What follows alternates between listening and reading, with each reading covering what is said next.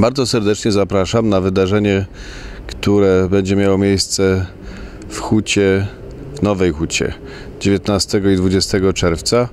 Jest pomyślane jako swoisty ciąg dalszy tego, które miało miejsce kiedyś na stadionie Krakowi, a teraz przenosimy się z radością do Huty. Ja się sam nie mogę już doczekać, bo dla mnie takie wydarzenie nie jest tylko przepowiadaniem, nie jest tylko gadaniną, jest zawsze doświadczeniem obecności Pana Boga. Tym, który jest, jest Jezus Chrystus.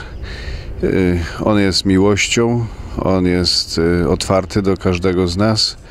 On jest y, najważniejszą osobą, jaką w życiu można spotkać. Można go spotkać także w kościele. Ufam, że to będzie piękne spotkanie kościoła krakowskiego, nowochódzkiego w szczególności. Zobaczymy się z wieloma fantastycznymi ludźmi. Ja ich wszystkich znam, muszę powiedzieć, i tam będą oni, i będzie jeszcze wielu, wielu, wielu innych.